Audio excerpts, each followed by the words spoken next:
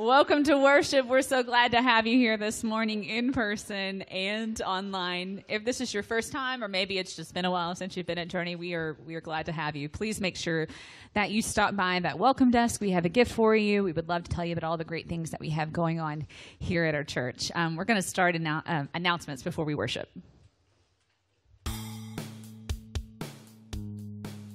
Hey Journey, welcome. We're so glad you're with us today. We have a few announcements for you before we get started. Tomorrow, January 16th, the American Red Cross is going to be here at Journey doing a blood drive. If you're interested in participating, you can sign up on the Journey app or you can just come in. This past week, annual giving statements were sent out by email. If you haven't received that, you can log into your account on the PushPay app or the Journey app and sign in and find your documents there. If you need any help with that, be sure to stop by the welcome desk and someone will assist you. If one of your kids is in the students ministry, we have a parent meeting set up for Sunday, January 29th, right after second service. If you have any questions about that, you can reach out to our youth pastor, Kyle.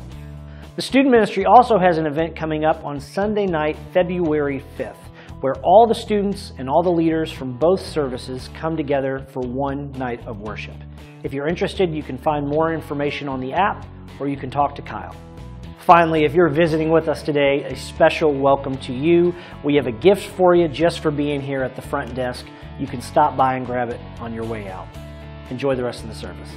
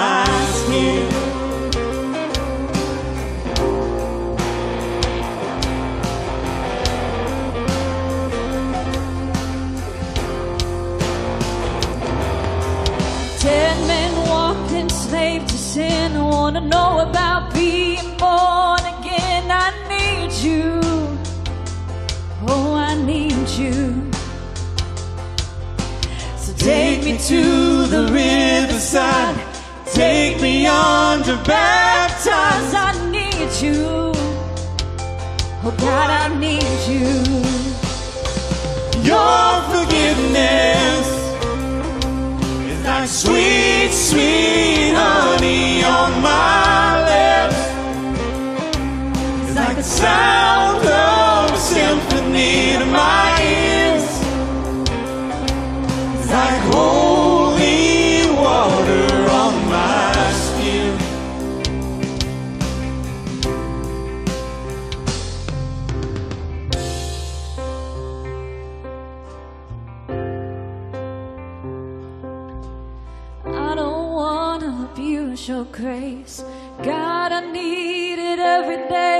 It's the only thing that ever really makes me wanna change. I don't wanna abuse your grace. God, I need it every day. It's the only thing that ever really makes me wanna change. Let's sing that again. I don't wanna abuse your grace. God, I need it every day. It's the only thing that ever really makes me wanna change. Pour that out. I don't wanna abuse your grace. God, I need it every day. It's the only thing that ever really makes me wanna change. Your forgiveness. It's like sweet, sweet honey on my. It's like the sound of a symphony to my ears. It's like holy water, your forgiveness. It's like sweet, sweet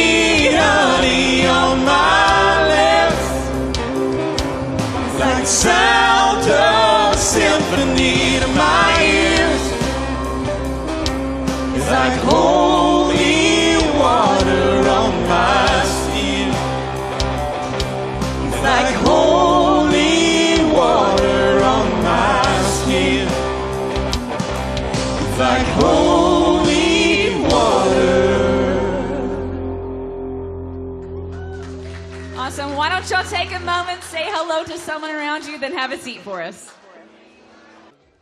Well, good morning again. We're so glad you guys are here with us. If is your first time at Journey, we're especially glad you guys are with us and took some time out of your busy weekend. Uh, on your way out, we have a gift for you just for coming today, and we hope to see you again in the future. Uh, I, if you're new here Journey, just cover your ears on this next part. You don't have to listen to it. Uh, but we announced this last week, and so we'll do it again. Uh, we released our annual budget, and so we realize uh, that money is a weird thing in church. Um, people don't like to talk about it, but we like to be upfront about everything. And so you can grab these at the welcome desk.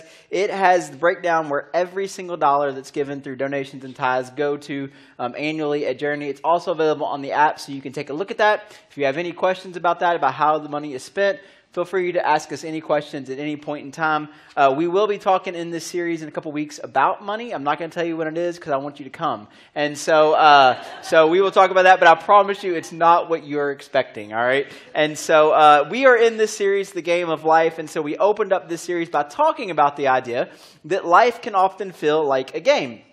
Now, when you play a game, there's an objective to win or to lose, you know. And, and some of we talked last week about how competitive I am and how competitive some of you guys are. Um, but the thing is, when you play a game, so when you play a board game or a game of cards or you play a sport or you run a race, as we talked about last week, it's very easy to tell if you're winning or losing. Okay? And so when you're playing a board game, you might be able to tell by the stack of money that you have, or if you play Monopoly, how many properties you have. In a card game, you keep score. Um, in the sports, you can look at the scoreboard. It's easy to tell if you're running a race, you're either in front or you're behind. And so it's very, very easy when we think about that to tell whether we're winning or losing. It's much harder to tell if we're winning or losing in the things of life that actually matter like our family, our marriage, um, our finances, how our spiritual life is going. It's often hard to tell, even though it feels like a game sometimes we're trying to win, how well we're actually doing. But if we want to win in the areas of life that matter most, outside of a board game or a sports field or whatever that type of thing is, it often requires some reflection. It requires us being willing to ask some questions. And so last week we started this series with a simple question. When it comes to areas of your life, and it's your life, you decide how you want to ask this what is the win? Because it's always better, whether you're competitive or not, to win versus not winning. And so when it comes to your marriage, when it comes to your family, when it comes to your relationships, how are you doing?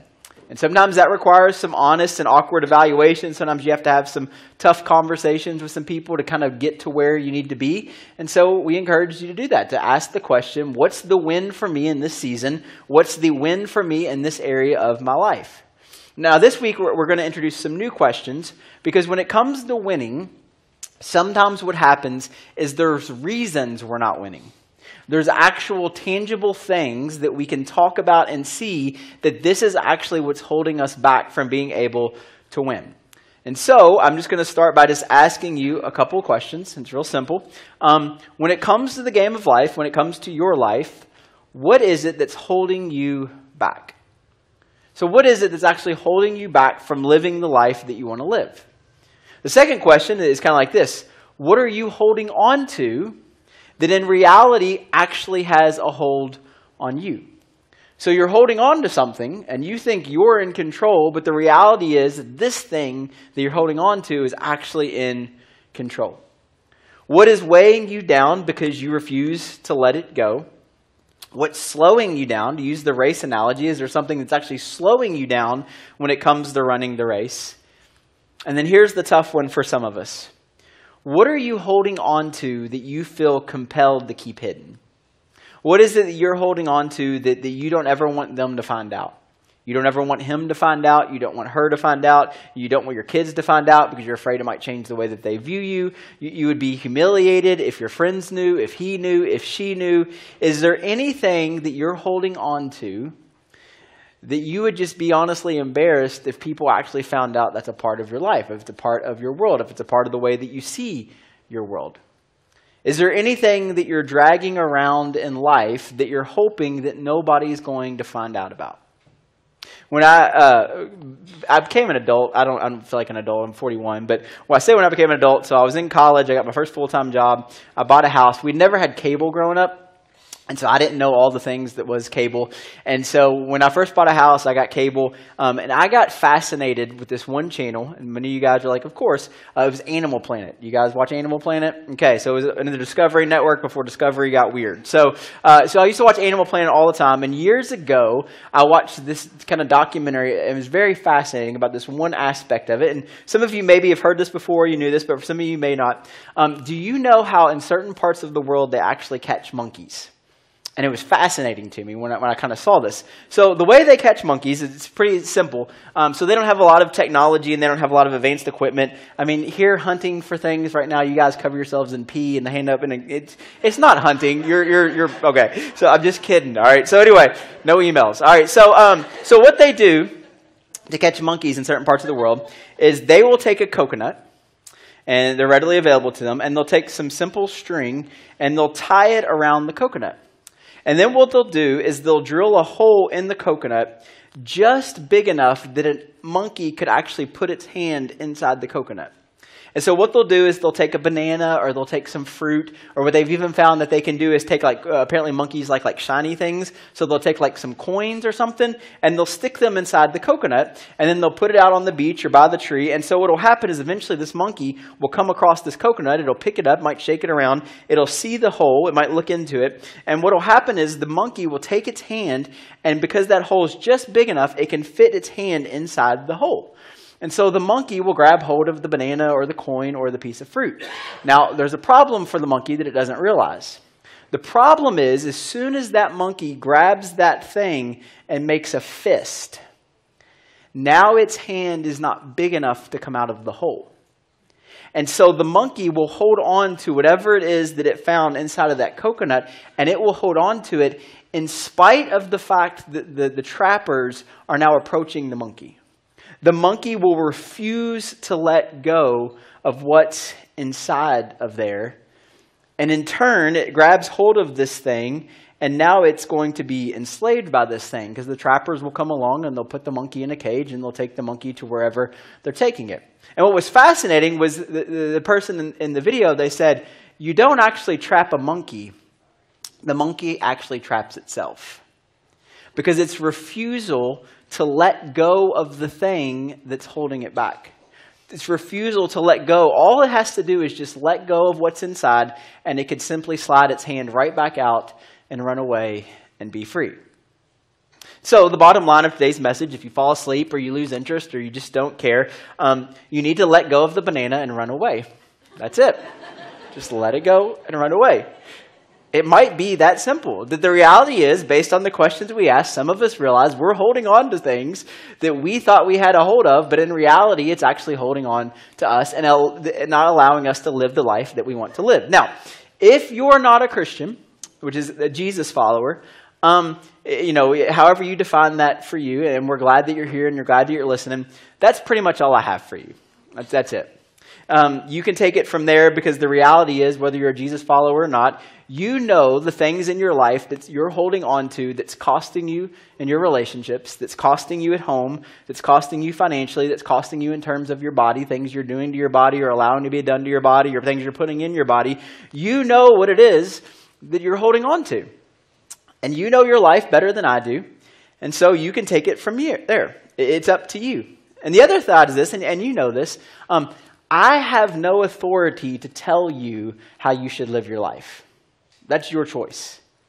And I can give you verses and texts and all these things, but, but I don't have that authority. It's up to you to figure out what you need to do from here. But I do want to add one more thing, just kind of get your brain going a little bit. Um, the reality is that all of us, whatever we're holding on to, whatever it is that's slowing us down, whatever it is that's dragging us back, the reality is um, we often think these things that we're doing, they're only hurting us. And that's just simply not true. The things that's slowing you down and hurting you from living the life that you want to live is often, oftentimes, hurting the people around you. And so you just need to know that because, see, we often think that we like got everybody fooled, that everything's great, and we pretend like everything's great. And the reality is, people know. And what happens most of the time is they just got tired of bringing it up because as soon as they bring it up, you get defensive. They haven't forgotten. They still notice. They just don't want to deal with your defensiveness. And so it's just a suggestion, just an idea to realize that sometimes the things you're holding on to, it's not just impacting you, it's impacting the people around you. So maybe these next couple minutes, I hope you still pay attention, even if you're not a Jesus follower, because what, what the Bible says about this principle, it, it kind of goes in line with this line of thinking. And, and so if you're a Christian, if you're a Jesus follower, so you someone that's put your trust and your faith in Jesus, um, there's a real problem with the idea of allowing anything to grab hold of you and actually enslave you and now control you. So, so just like the monkey, as it grabs hold of that thing, that thing now has a hold of it. And, and now, because of these choices that this monkey's made and its refusal to let this thing go, it's now going to be enslaved by whatever it is that trapped it. So the problem with being mastered by anything, if you're a Christian, is simply this um, you already have a master. And anything else that you allow to master your life is now in competition with who's supposed to be the master of your life. And, I know that we don't like the word master because it conjures up all kinds of ideas and imagery of slavery, and especially in our country, it was the darkest and one of the worst things that, that we have done as people. But um, let me ask you a question. What else would you call the idea of allowing something to hold on to your life in such a way that it affects your life, influences your life, controls your life, and impacts your life and degrades your life, not only for you, but the people around you. If that's not being enslaved by something, then what else would you call it? And so if you're a Christian, obviously, you know, you got to listen to what the Bible actually says about this. And so Paul, he, he, talks about this. And so Paul, as we talked about last week, he's this first century Jewish man, and he wasn't a, follower of Jesus. And then he has this encounter with Jesus, and his whole life changed. But he's a super well educated. He's a Pharisee. So these were highly educated, really intelligent, smart men. Um, and, and Paul goes on to write much of the New Testament. He writes these letters to churches. And there's one particular area that he always wanted to go, but for whatever reason he couldn't go to, and that's Rome. And the reason that Paul wanted to go to Rome is because Paul was actually a Roman citizen, um, and so he had a heart for the people of Rome, for them to hear the good news of Jesus. Um, but for one reason or another, it never worked out towards until the end of his life. But he writes this letter. It's this famous kind of book, we would call it now in the Bible, but it was originally a letter, and it's the book of Romans. It's a super fascinating book. And so he's writing to these people who live in Rome. And again, remind yourselves that living in Rome as a Christian is incredibly dangerous. The culture of Rome not only dangerous for your life, but the culture of Rome has so many things that will pull at your heart and your mind, just like it is today. And, so he's speaking to these people and he's trying to remind them of some principles. And so when he's writing this letter, um, or maybe dictating this letter, um, he does this often. He gets to a point where he's explaining a lot of things because he's really smart. And then all of a sudden he has to pause and take a time out because he realizes that what he's talking about, even though to him it, it's kind of obvious and common sense, it may not be to everybody. And so he wants to remind them of something. And so every once in a while in his books and his letters, we'll see him take a, a moment, a pause. And, and, here's how he starts it. He says this in Romans 6 16. He says, Don't you know? You ever everybody say that to you? Don't you know? Don't you know? All right.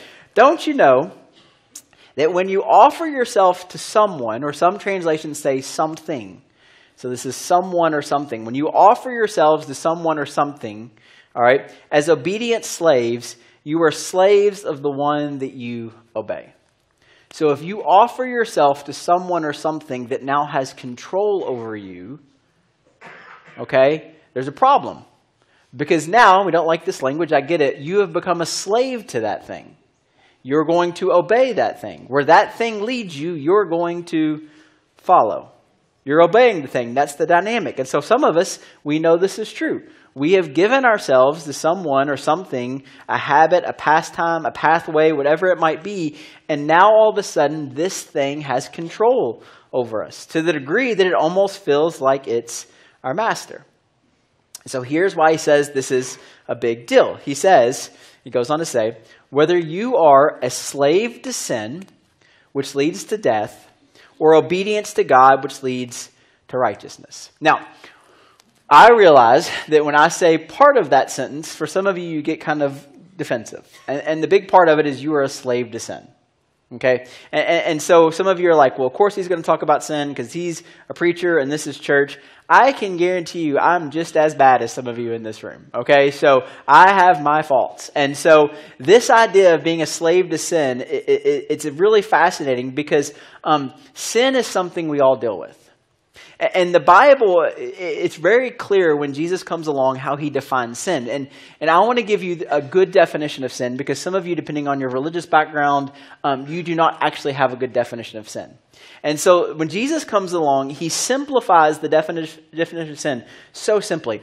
Jesus never gives a list of sins. Look it up in the Gospels. Now, Paul's going to come along later and talk about some of these things in detail. Jesus doesn't do that. In fact, Jesus defines sin so simply, um, we almost don't want to understand it. And so here's what he says He says, Sin is simply this sin is anything that hurts you or the yous around you. Sin is simply anything that hurts you or hurts the people around you.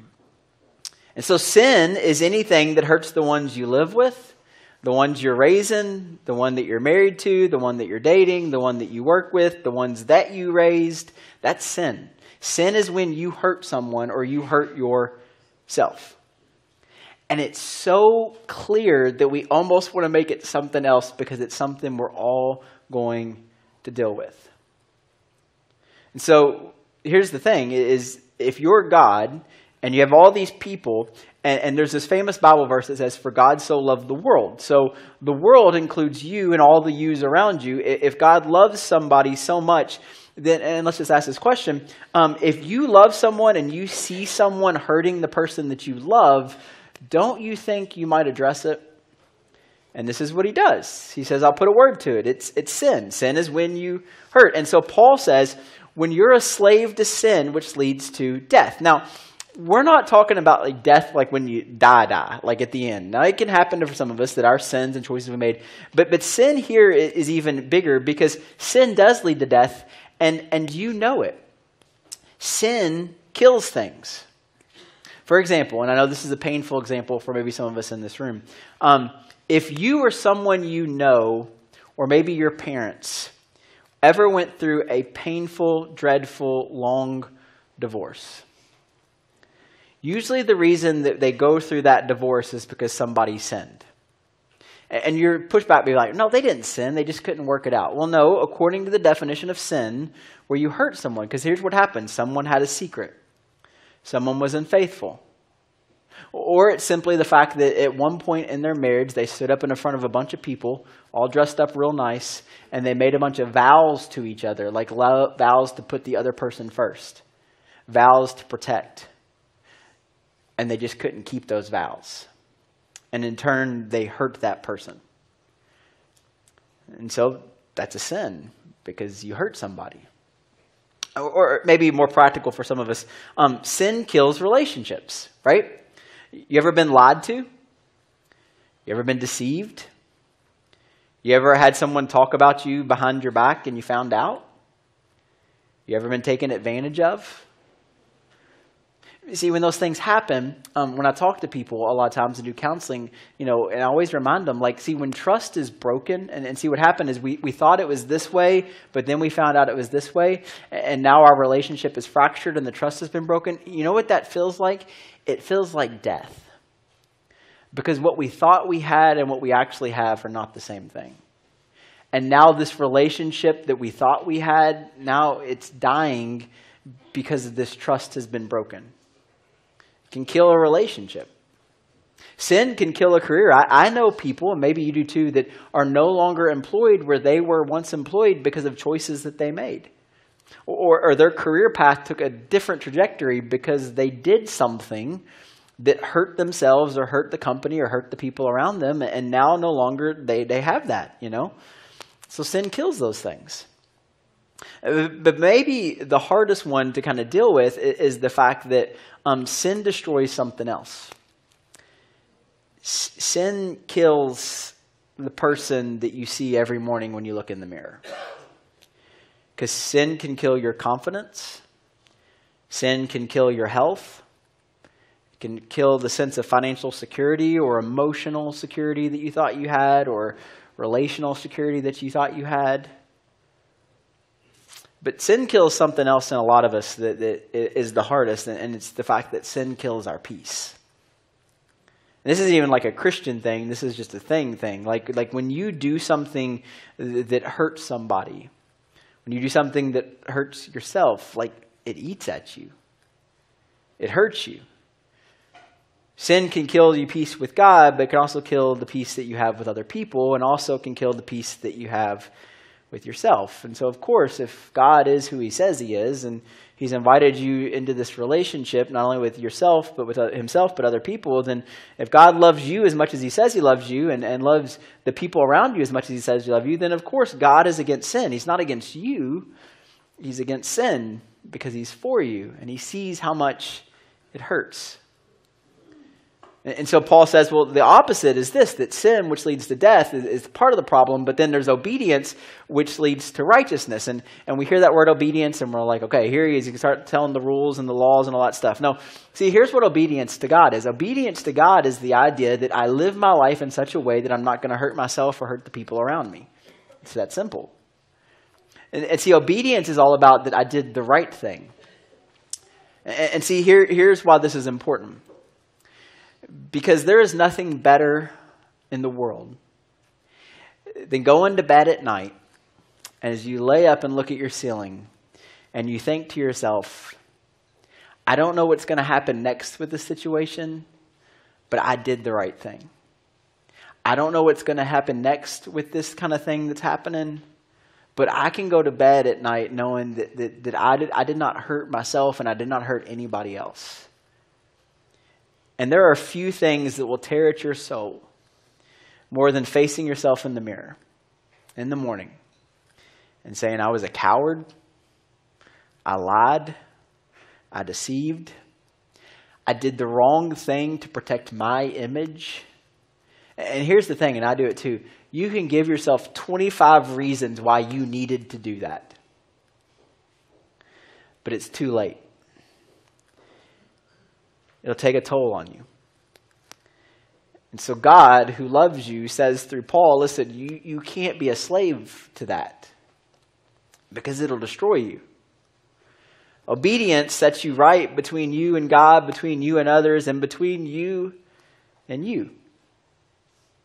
And so sometimes what happens is there's these things that have a hold of our heart and a hold of our mind and a hold of our emotional health and a hold of our anxiety and sense of well being and, and they're just holding on to it, and, and we're trapped, or it feels like that. So Paul says, you got to let go of that. And here's the thing I, I realize that some of us, the stuff that we're dealing with and the stuff that we're facing, like it's so easy for me just to say, let it go, right? And you're like, you don't know what this is doing to me. You don't know how many conversations we've had about this. You don't know how long this has been going on. And so Paul says what you have to do is you have to change your mindset. There's this language in the New Testament over and over again about changing the way that you think. And so the idea is, well, you thought this way, and for some of us, we're facing things in our life that we did think were obstacles that we couldn't overcome. And so Paul says we got to see it differently. You have to see the world differently. You have to see yourself differently. You have to see your family differently. Um, you have to have this new way of seeing the world. And it centers around the idea uh, of this idea of that we are to treat others in accordance with the way that God has treated us through Christ. And we realize that, that there's this thing that we are loved, regardless of the choices that we've made. And because we are loved, we should love other people. And so it's not good for him, if it's not good for her, if it's not good for me, it becomes off limits. And so Paul's going to double down on the language. So he writes this other letter to this church in Corinth, and, and he's going to tell them something that would have had extreme like just impact on them as soon as they heard it that will not have the impact on me and you when we first hear it so i have to explain it to you and so he says in 1 corinthians 6.19 he says do you not know again here's that statement don't you know this that your bodies are temples of the holy spirit who is in you whom you have received from god you are not your own don't you know that your body is a temple now, in their world, you hear that and you've heard this language before. And, and like, you're like, yeah, my body's a temple. And like some of you that go to the gym, you're like, yeah, my body's a temple, whatever. And so uh, that's not what he's talking about, right? Um, see, when he says this, well, here's what he's saying a temple is a temple, and a body is a body in their world. And here's why this is important because they've been to temples. Did you know there are people that will, and some of you will do this, you will at some point in your life get on a plane and travel to the Middle East and travel to parts of the world to see the ancient temples that were built. They were magnificent. They were beyond belief in their day. I mean, we still look at some of the temples that were built and said, without our technology and our understanding and our equipment, how did they even build some of these things? because they're amazing. And, so, even if you're from a pagan background or uh, in this context, a Gentile background, you saw pagan, or not pagans, you saw temples. They were everywhere, and they were amazing. And if you're a Jewish person, like at some point in your life, you would make the long trek, maybe up to 1,500 miles to Jerusalem. And as you enter Jerusalem, as you go down into the city, you come back up into the city. As you come back up into the city, there's a hill. And on top of that hill would have been the most magnificent temple that you've ever seen. And see, for them, see, temples were sacred.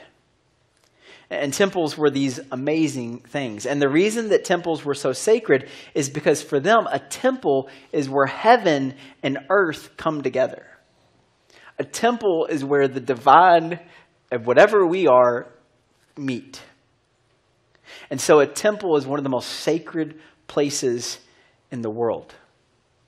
And see, our understanding of that would be kind of like this idea like church. Like we, we see churches, and, and so we see church buildings, and, and we say, well, those are sacred places. They're not.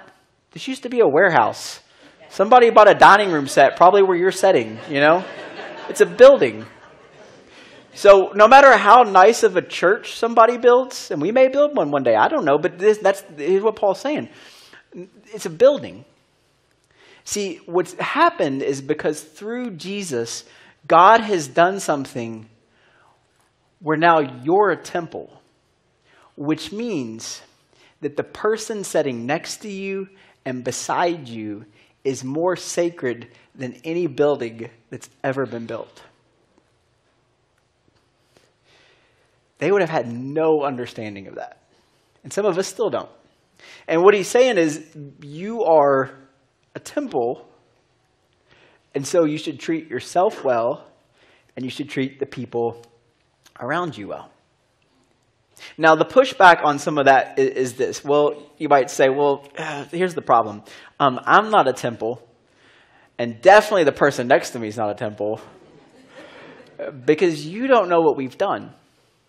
You have no idea the amount of, of things I've grabbed onto and allowed to hold me. You have no idea all of the stuff that I'm dragging around. You have no idea all of the stuff that I've chosen to carry around, the burdens and the hurt. You have no idea how many people I've hurt, and you have no idea how many ways I've hurt myself. And, and Paul would say, Well, so here's the problem. You, you completely misunderstood what we just said. Paul didn't say you were sacred because of your behavior. Paul said you were sacred because of who lives inside of you. He says, You're sacred because I've chosen to dwell, I've chosen to allow heaven and earth to meet in you.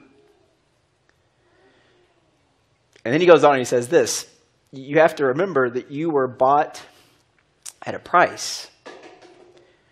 Now, this may sound offensive to some of us, and you might be put, like, I don't want to be bought. Like, I didn't want, I didn't want that. Well, okay, see, you've been purchased.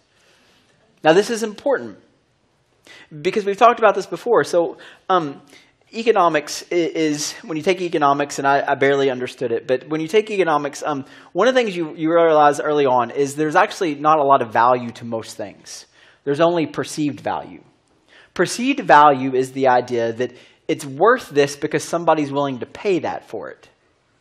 Okay? And, and, so perceived value is this idea the value of a thing is determined by the price it will bring. See, there's a lot of things in this world that's worth a whole lot of money that you and I would be like, well, I would never buy that.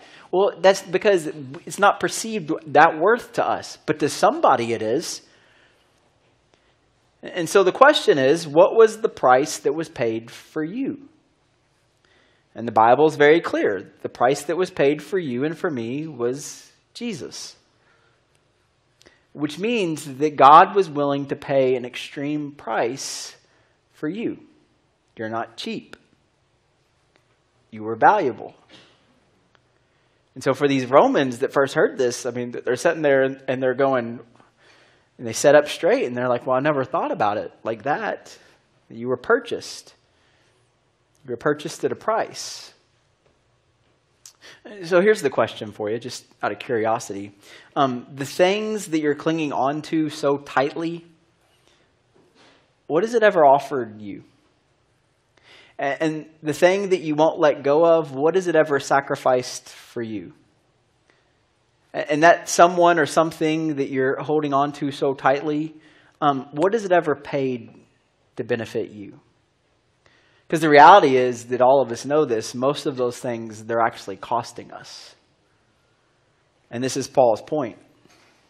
Why would you bow down to this? Why would you empower this?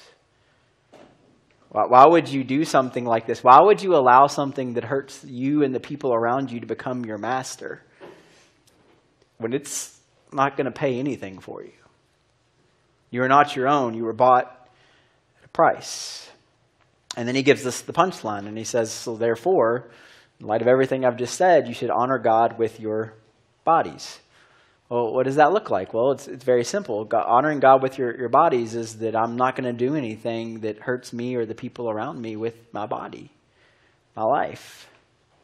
And all of my relationships, my marriage, my kids, my dating life, my work life, sports life, whatever lives that we live, and every decision, I'm going to choose to honor God with the choices, which means I'm not going to hurt myself and I'm not going to hurt other people. So anything that demeans you, anything that demeans other people, um, you have to let go of because that's not honoring to God, and you are a temple. You were bought with a price. You have extreme value and worth, and so do the people around you. And so, back to the original question, and then we'll kind of wrap this up. Um, so, what are you holding on to that's holding you back? What are you holding on to that keeps you from having a clear conscience at night? What are you holding on to that is keeping you from having the relationship you always dreamed about with your children? What's holding you back from having that relationship with your spouse or uh, having that relationship with who could be your spouse one day? Like, what's holding you back? What's, is it your anger? Is it a habit? Is it this need to always be right? Not do right, but to be right. Maybe this is the hardest one. Is it somebody? Is it a friend? A group of friends? A toxic relationship? If so, you owe it to yourself, you owe it to your Father in heaven, and you owe it to your future to maybe just think about letting it go. Just pull your hand right out and walk away. God loves you and He's inviting you to a way of life the Bible tells us that Jesus came to give us life and life to the full. And I want that for you, and I want that for me. So, as it comes to this game of life that we all seem to be playing, what are you holding on to? That if you could just let it go, you might be free. Let's pray. Father God, we love you. We thank you. God, I pray for wisdom. Um, this is not an easy thing to talk about or an easy thing to hear from many of us, and, and yet it's right there in front of us all the time. And so, God, there's so many of us in this room that have held on to things and allowed things to enslave us and become masters of us. And, and those things, God, we just need to learn or at least start to have the conversation of what does that look like to let it go. Maybe to get the help that we need, to, to have that tough conversation, to, to finally be honest and say what needs to be said.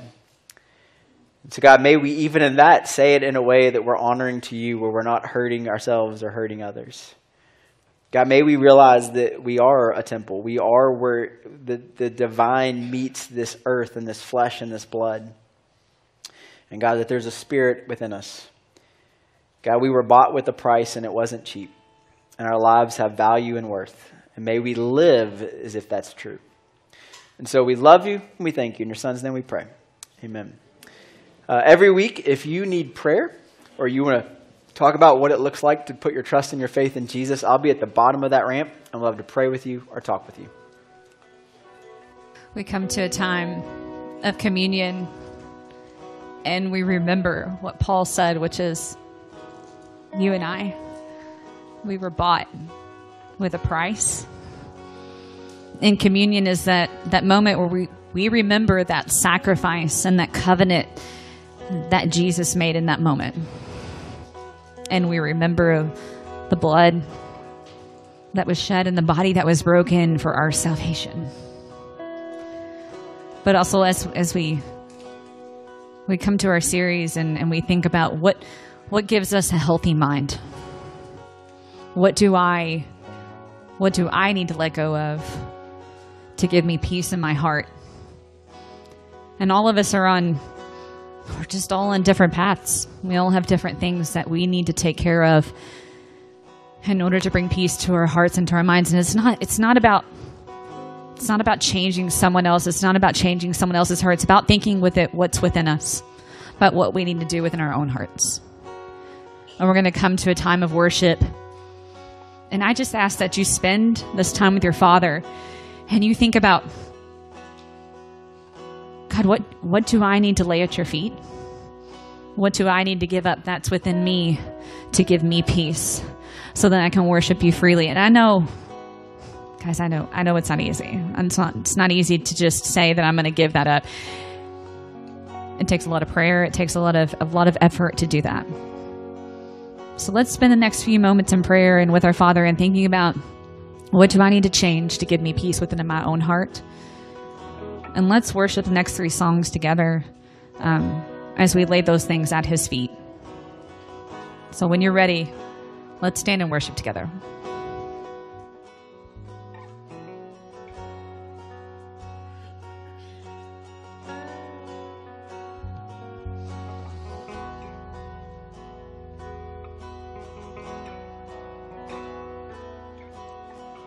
There was a moment when the lights went out, when death had claimed its victory. The King of love had given up his life. The darkest day in history. There on a cross they made for sinners. For every curse his blood atoned. One final breath and it was finished. But not the end we could have known. For the earth began to shake, and the veil was torn. When sacrifice was made, as the heavens roar.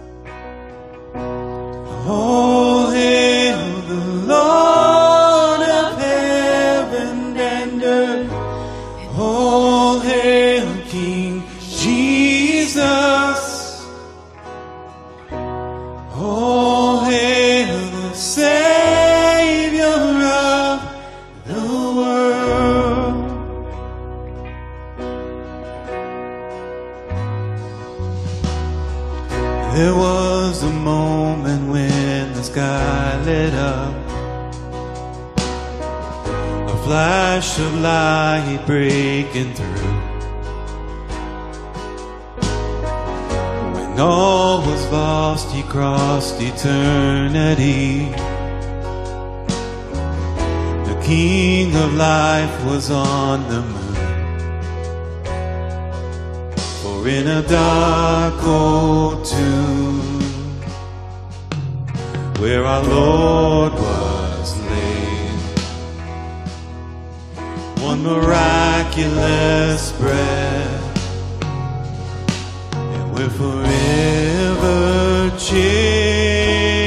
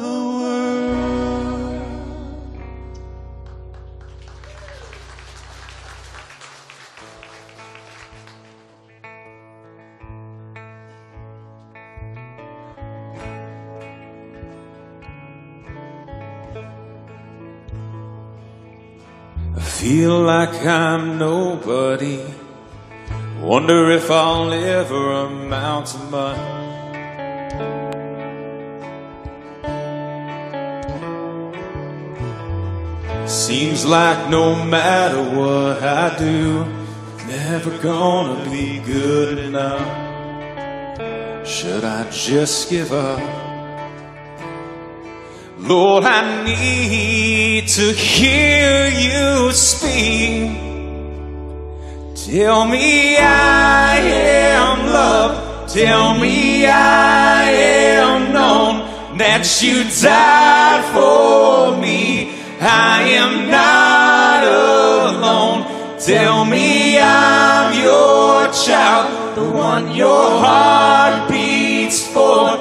I can find my strength knowing I am yours.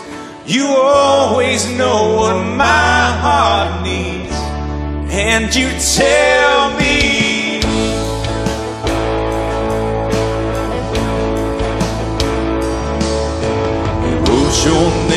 upon my heart. You knew me long before my life began.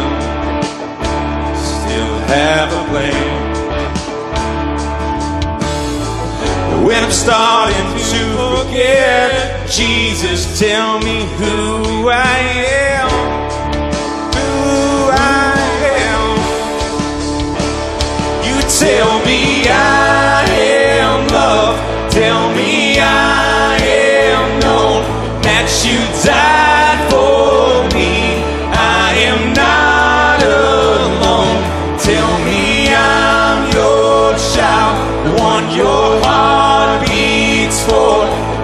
can find.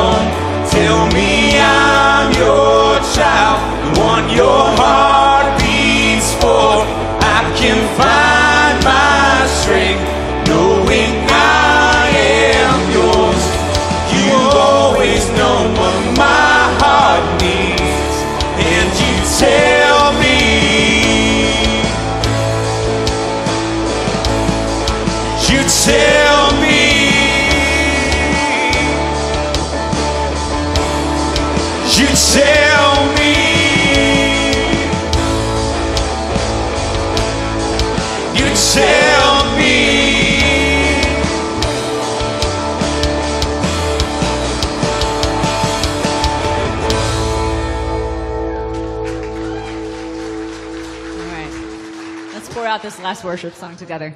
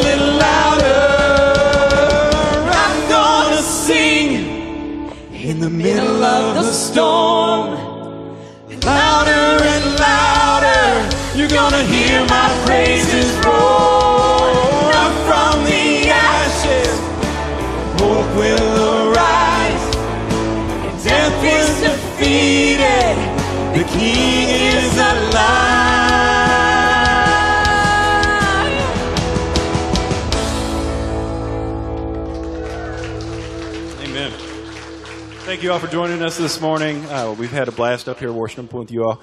Um, once again, if it's your first time, please go down to the Welcome Center. Otherwise, have a great week, and we hope to see you next week. Thanks.